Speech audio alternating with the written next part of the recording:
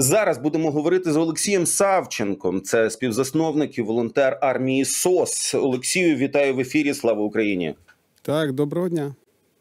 Ну, по-перше, е, я знаю, що ви пару днів тому, буквально чи може і вчора, повернулись е, з війни. і Ясно, що про це я не можу не запитати. Отож, зараз волонтерські вантажі, волонтерські візити, пробачте, до ліній фронту це дуже активна штука. От ваші перші враження, що там, як там, з чим зараз треба їхати, на що зараз треба, що називається, донатити, на що зараз найважливіше зібрати гроші. Ну, з нашої точки зору, е, ми е, фокусуємось на е, трьох напрямках, тому і орієнтуємось повністю на них. Мої враження, е, ну там дискотека, вона ніколи не зупинялась, не зупиняється 24 на 7, е, постійно гучно, постійно весело. У нас там знаходиться наша група е, безпілотної розвідки, яка там живе вже, ну можна сказати, з початку війни. І ми їздили терміново, тому що їм потрібно було замінити автівку. Автівки є розхідним матеріалом, тому це буде потрібно постійно в великої кількості. Їх постійно не вистачає. А щодо наших проєктів, то е, е, це е, система автоматизації кропива, це безпілотні літальні апарати Валькірія і це станції мобільної радіозрозвідки. От це три напрямки, які ми зараз для себе зосередили через брак фінансів, і більше нічим не займаємось, окрім цього. Раніше ми ще займалися автомобілями, тактичною медициною і так далі, але зараз ми всі ці неважливі для нас напрямки відкинули, і всі фінанси сфокусували на ось е, кропива і БПЛА особливо. Власне, ми ж розуміємо, що ну по суті всі виснажені. Ви сказали, коли ми говорили, ну домовлялись про цей ефір, що у порівнянні з березнем волонтерські збори впали, і напевно. Ну, ми розуміємо, чому, тому що ну всі виснажені, в тому числі і фінансово. Тим не менше, ви зараз займаєтеся навіть посиленням якихось українських систем протиповітряної оборони, неважливо якого вони виробництва, але мені здалося, що волонтери, які ще й допомагають закривати небо над Україною, це супер важливо. Розкажіть, як це працює, що це, що це за проект. Так, да, це проєкт нашого Артема Полютіна. Е, він ну це, якщо коротко, це система автоматизації протиповітряної оборони. Тобто, ми надаємо нашу програму, вона інтегрована з програмою, на якій працює ППО, і надаємо обладнання. Це дозволяє максимально присвідчити е, е, час обміну інформацією. Між підрозділами протиповітряної оборони, тобто у протиповітряної оборони є локаційні установки, є пускові установки, і дуже важливо, щоб між ними обмін інформацією максимально швидко ходив. Тоді їх ефективність в рази зростає. От цим ми і займаємось. Зараз ми будемо анонсувати збір коштів на те, щоб закрити три області, це буде 4,5 мільйони гривень потрібно зібрати. А власне, от скільки коштує, пробачте, закрити в цьому контексті небо, посилити спроможності протиповітряної оборони для області? От це мільярди? Ні, ми закрили вже дві області, і середнє, середнє значення це одна область це півтора мільйона гривень. Це на на базі нашої, я кажу на базі нашого обладнання, нашої системи автоматизації. У е, протиповітряної оборони ще є додаткові установки. Я не можу сказати, скільки вони коштують. Ну, вони ну, є. Ну, зрозуміло, ми не будемо надавати ані е, як це називається номенклатури, ані місць, тому що ми про них не знаємо, і не треба нам цивільним про це знати. Власне, ще одна історія, яку яку я дуже давно знаю, це ну легендарні планшети армії СОС з артилерійськими е, програмами. Відповідно, у мене питання: а як? Те, що ви розробляли для артилерії ще з 2014 року, та наскільки воно адекватно працює, ну, наприклад, з новою західною зброєю? Е, оцифровуються таблиці стрільби, це все робиться, і всі оці західні зразки вже майже всі оцифровані і є в, е, в наших планшетиках і використовують, і роблять з росіян добрих росіян. Ну, тобто воно працює. І Це теж ще одна окрема історія, що волонтерка це не лише зібрати на бронік, чи там доставити бронік, чи доставити машину. Це ще й ну там інтелектуальна праця, айтішна праця, праця тих, хто вміє там системну інтеграцію робити складного обладнання. Це ж дуже специфічний напрямок. Наскільки він зараз живий, наскільки він зараз затребуваний? Він затребуваний постійно, бо черги, які стоять за нашими планшетами і за системами автоматизації, вони ніколи не закінчуються. Наші дівчата працюють з. З ранку до ночі, до пізньої, в режимі 24 на 7 з самого початку війни, і я не бачу кінця цьому. Тому е, попит шалений просто. Що стосується, да, це не класична форма волонтерства, тому через це в нас є невеликі проблеми з е, збиранням коштів, бо не всі розуміють. Всі звикли, що волонтерство це про бронежилети, каски, там медицину і так далі. Ну, в нас не зовсім класична історія, але вона дуже ефективно вбиває наших ворогів. Тому ось е, зараз е, на початку війни ми фокусувались виключно на роботі. А от зараз, так як доходи наші впали, ми вимушені ходити по ефірам і пояснювати, що це, чим ми займаємось і як воно працює.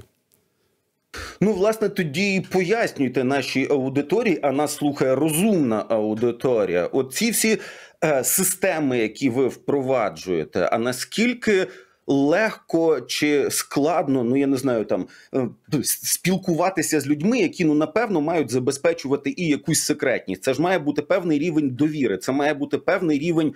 Е, Там допуску навіть до якихось е, об'єктів, Е, як це відбувається? Так, це має бути рівень довіри, і керівництво військове не дуже задоволене, коли ми починаємо про це говорити. Вони нас просять максимально зберігати тишу. Але на питання, як ми будемо збирати фінанси на те, щоб фінансувати цей проєкт, відповіді немає. Тому так.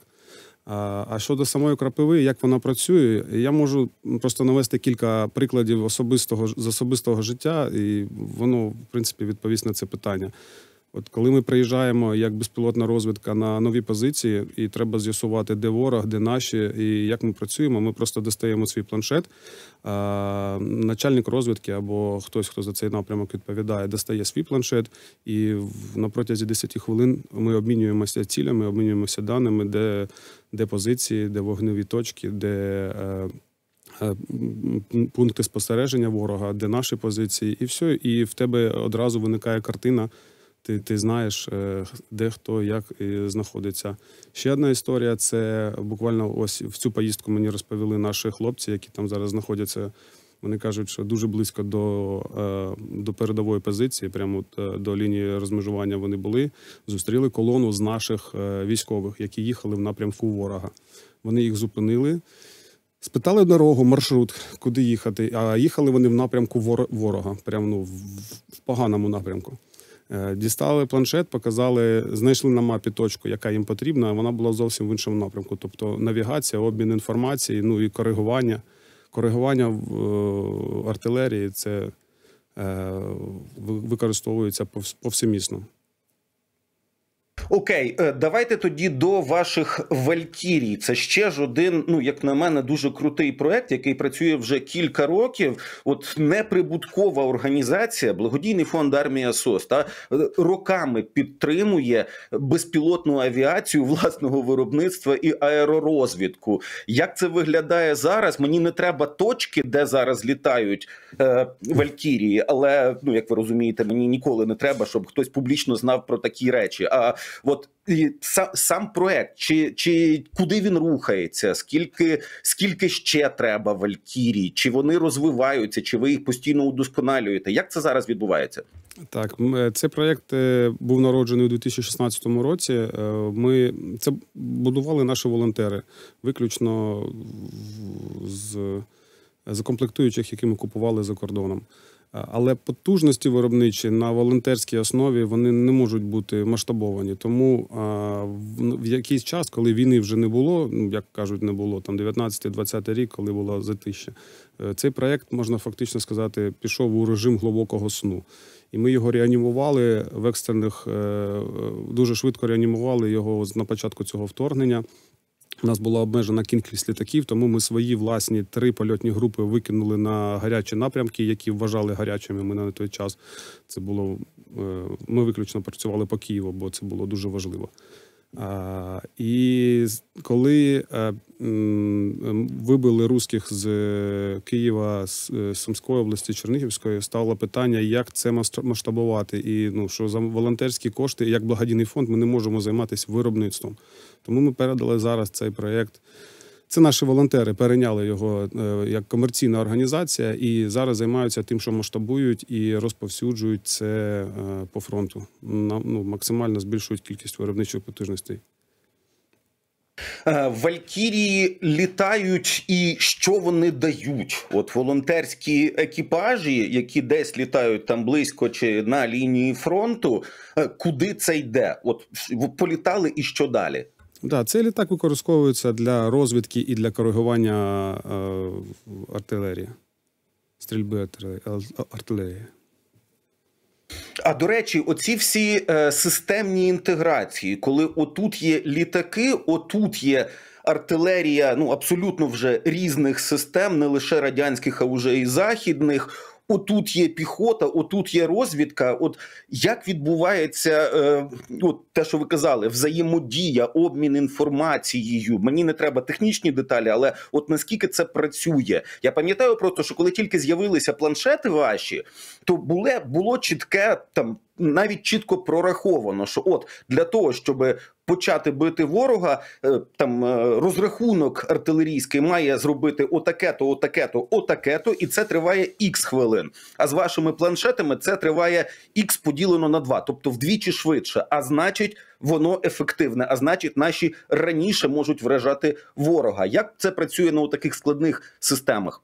Ну, так воно і працює, да, ви абсолютно праві. Раніше, коли це була радянська система е, обчислення е, вогню для артилерії, це займало, ну, залежало від е, оператора, звичайно, але займало до там, більше 10 хвилин, до 15, у когось навіть більше. А з планшетом це робиться за півхвилини.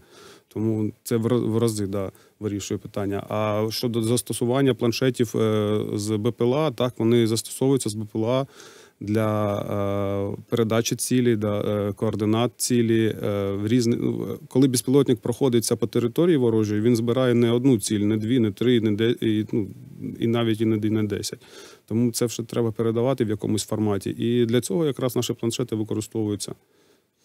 Я не буду розповідати, як саме це робиться, але планшет безпосередньо в в співпраці з Валькірією з самих перших днів застосовується і досі так триває.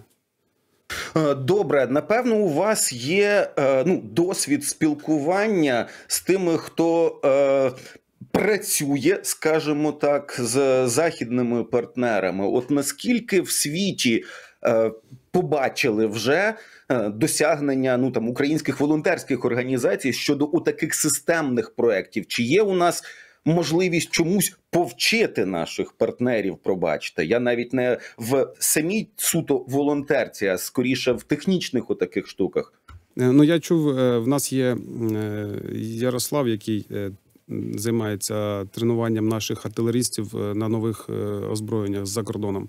І до нього підходили інструктори з США і з інших країн і цікавились, що це за програма. І вони дуже дуже сильно були здивовані, коли дізнавались, що це було розроблено цивільними.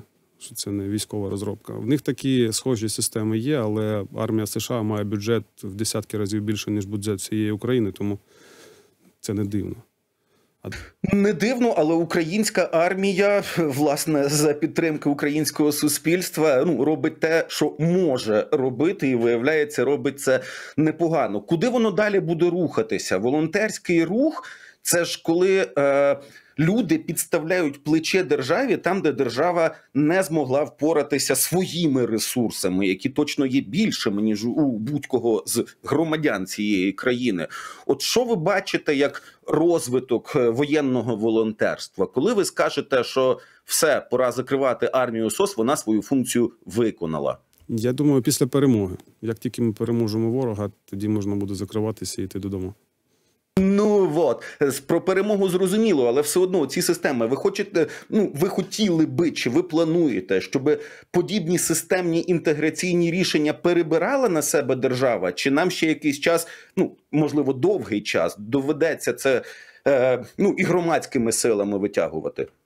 Е, Якийсь час я впевнений. Ну я не бачу зараз, що держава до цього долучиться. У держави дуже багато своїх е, своєї головної болі, чим займатися, бо там, там ставки набагато вищі. Тому поки що я впевнений, що ми будемо цим займатися. Найближчі А, місяці. Ще одне обов'язкове питання моє до всіх благодійних і волонтерських організацій. А, а як я перевірю, що моя копійка витрачена не дарма?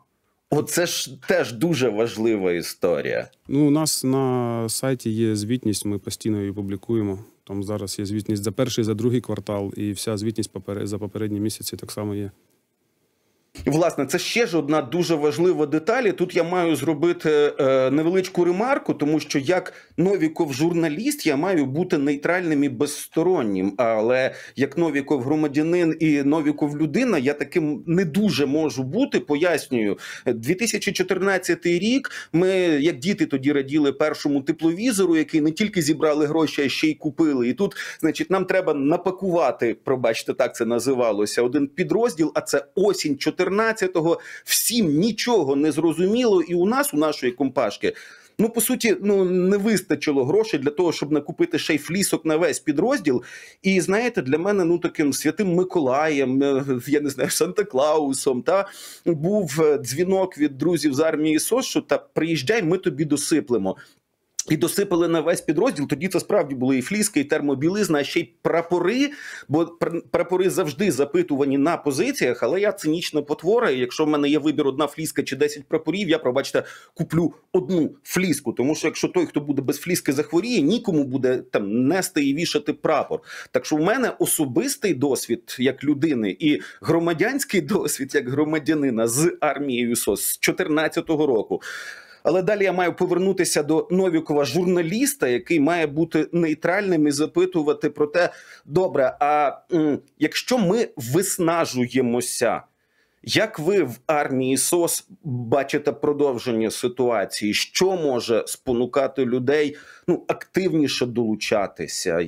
Як це, як це з вашої точки зору має виглядати? Ну я думаю, що виснажуємось ми в першу чергу через власні помилки. Ми е, через велику ступінь загрози просто, е, як кажуть, не відсвічували. Дуже багато інформації не публікували через специфіку своєї роботи, і через це втратили в надходженнях. Бо е, благодійним фондам, організаціям вони їм варто бути усім публічними. Тому що люди е, люди фінансуються, вони мають бачити вообще, чим організація займається. Ми так між пальців натякали постійно в своїй на своїй Фейсбук сторінці, чим ми займаємось, що ми робимо, але не зовсім детально. І ось зараз маємо те, що маємо. Тому е, ми вирішили зараз трошечки більше публічності додати до своєї роботи і таким чином виправити ситуацію. Бо, як показує приклад наших друзів з фонду притули, вони.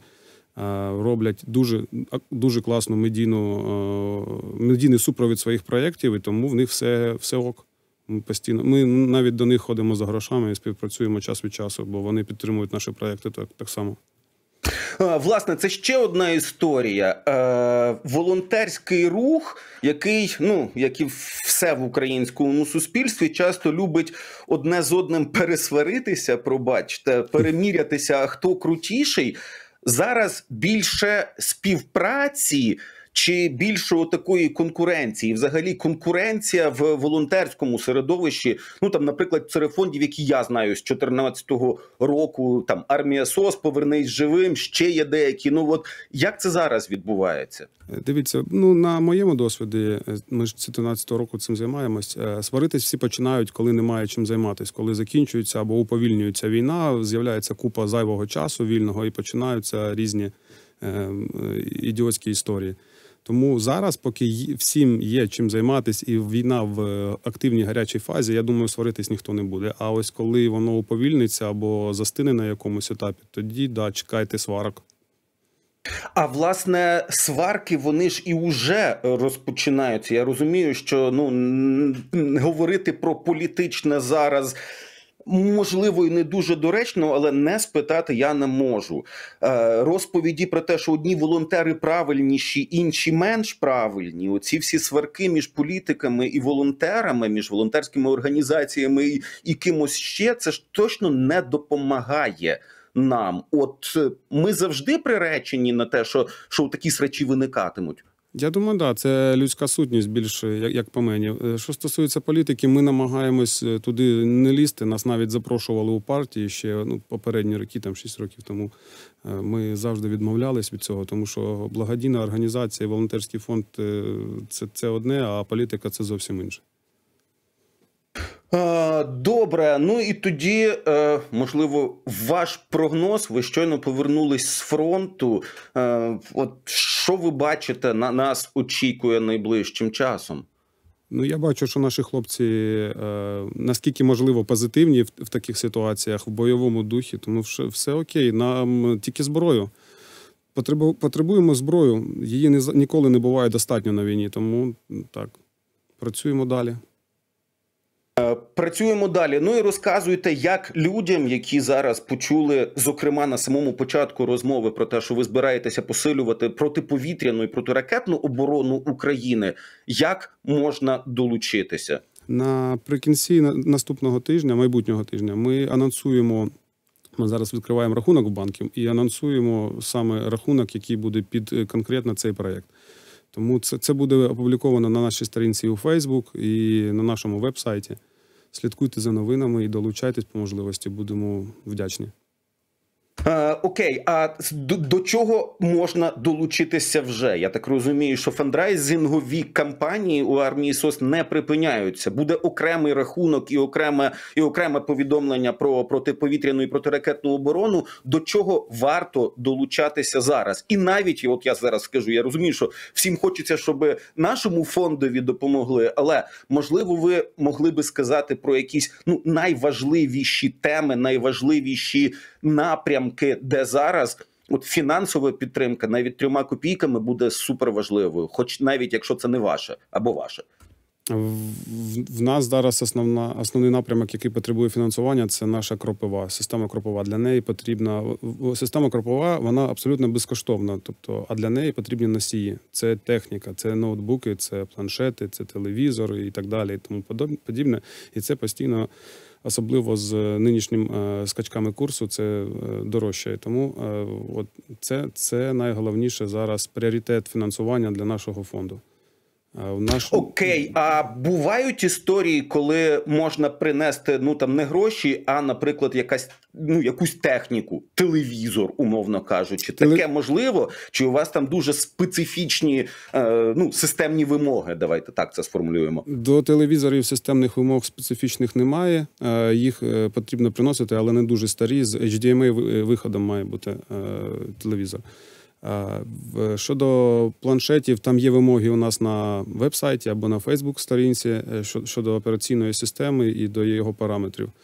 І е, те саме до ноутбуків і комп'ютерів. Всі ці Ну тобто, потенційно така можливість. Ну я зараз уявляю собі. Людей, які, ну, наприклад, торгують такою технікою, розуміють, що вони можуть, якщо не грошима, то там чимось зі складських запасів навіть вживано. Це ж можливо? Так, так, навіть вживана техніка у нормальному стані, яка не буде потребувати дуже багато ресурсів і часу. е, Працюється вживана техніка, теж нам підійде. Е, Добре, добре, добре. Що ж, я дуже дякую вам за розмову. Я дуже дякую за те, що прийшли до студії. До речі, дивна історія. Так виявилось, що я на цьому тижні працюю дистанційно, а от гість. Прийшов е, наживо. Тобто зараз ті, хто дивляться нас в Ютубі, могли в порожній студії по суті побачити Олексія Савченка. Це волонтер та співзасновник армії СОС. Олексію, ви вірите в нашу перемогу? Ви бачите все зсередини. Якою вона буде ця перемога для вас? Ні, ми 100%, 100% переможемо. 100% переможемо. Якою вона буде, ніхто не може заглянути в майбутнє, але ми 100% переможемо.